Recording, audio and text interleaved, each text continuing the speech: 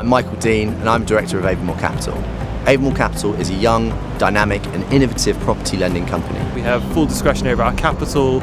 We do short-term bridge loans, development finance, anywhere between 500,000 to 5 million pounds.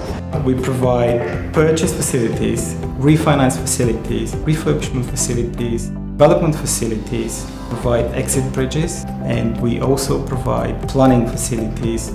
Internally, it's a, a small, experienced team. We've got something in the region of 40 years worth of property experience in the team alone.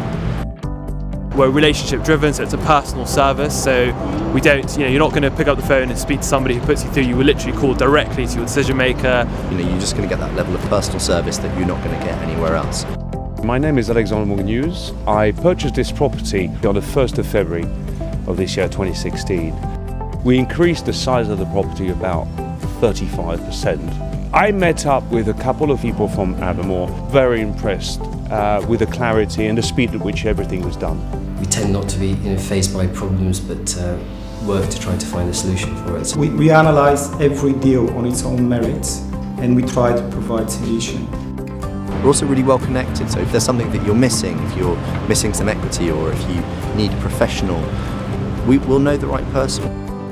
They showed a lot of flexibility in trying to find different partners to be able to put this deal together. Maybe there's a planning complexity, there'll be something else. There's always a nuance, no deal's easy. I think in this business, it's nice to know you can count on people, um, and I'm very happy.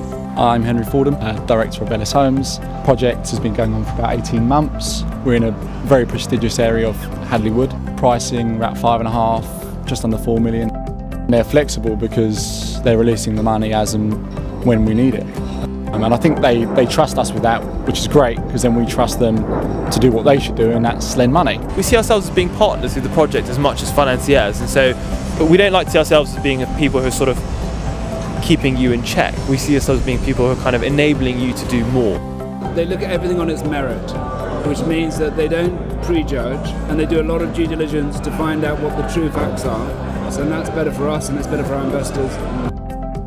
There's a lot of floor pricing in the market, and we can say there is no floor to us. We have full discretion. We can price it according to the risk. They're very clear and they're very quick, and I think that's a very important aspect. We're very, very happy of how it's gone, and we're looking forward to finishing with them. We are looking to build relationships with dynamic and vibrant property entrepreneurs. Thanks for watching. We look forward to working with you on your upcoming projects really soon.